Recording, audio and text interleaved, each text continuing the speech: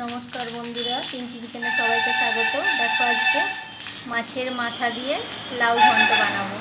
লাউগুলোকে এই যে কুচি করে রেখেছি, আদা বেটে রেখেছি, এক চামচ মতো কাঁচা লঙ্কা ফ্রাই করে রেখেছি, চারটা। আর একটা টমেটোকে কুচি করে রেখেছি। আর ফোড়নের জন্য নিয়ে নিয়েছি গোটা জিরে, শুকনো লঙ্কা, আর দুটি তেজপাতা। এবার দেখো রান্নাটা আমি কীভাবে করব।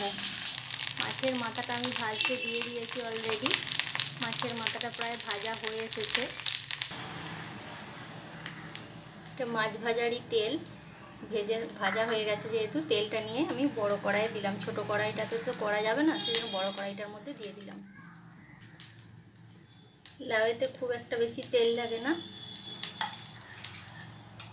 গোটা জিরে আর তেজপাতাটা দিয়ে দিলাম।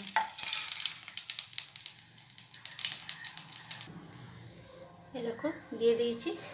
এবার আমি টমেটো কুচিটা এর মধ্যে দিচ্ছি।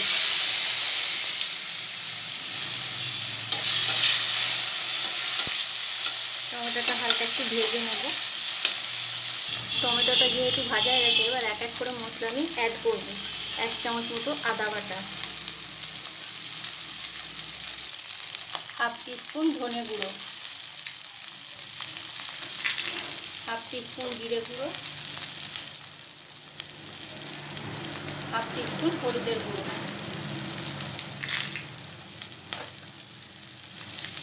সামান্য পরিমাণে একটু জল দিলাম। এবার মশলাটা ভালো করে আমি কষিয়ে নেব। দু থেকে তিন মিনিটের জন্য এটা কষিয়ে নেব। দেখো, এটা আমার কষানো হয়ে গেছে। আর যে মাছের মাথাটা আমি আগে থেকে ভেজে রেখেছিলাম, সেই মাছের মাথাটা এর মধ্যে আমি দিয়ে দিচ্ছি। দিয়ে আবারও ভালো করে এটা কষিয়ে নেব। একটু ভেঙে নিচ্ছি।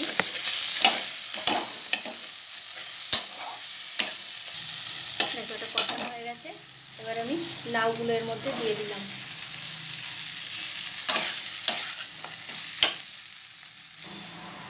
লাউগুলো দিয়ে খুব ভালো করে আমি কষিয়ে নিচ্ছি। স্বাদ মতো লবণটা দেব। লবণটা যেন খুব বেশি হয়ে যায় না, তাহলে খেতে মানে খারাপ হয়ে যাবে। পরিমাণ মতো লবণটা তোমরা দিও।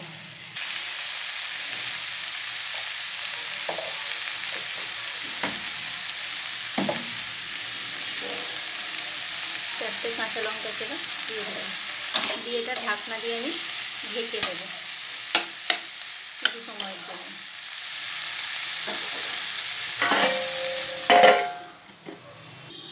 কিছু সময় পর আমি ঢাকনাটা খুলে দিচ্ছি দেখো, দেখছি।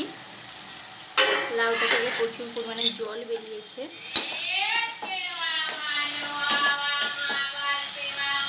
আর একটু হবে, আমি ঢাকনা দিয়ে এটাকে আবারও ঢেকে দিচ্ছি।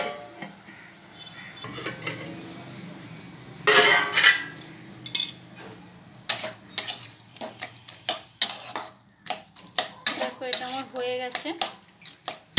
এবার সামান্য পরিমাণে আমি স্বাদ মতো মিষ্টি দেব।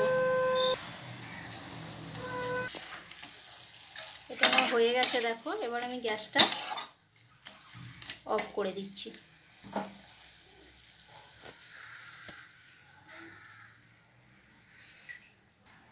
এই দেখো বন্ধুরা, আমার মাছের মাথা দিয়ে লাউয়ের ঘন্ট রেডি হয়ে গেছে।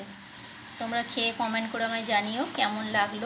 লাইক করবে, শেয়ার করবে। চ্যানেলটা অবশ্যই সাবস্ক্রাইব করবে।